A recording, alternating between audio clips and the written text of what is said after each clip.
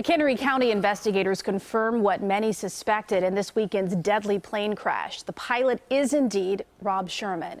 This is a picture of Sherman. That's him inside the single engine aircraft that went down in a cornfield in Marengo.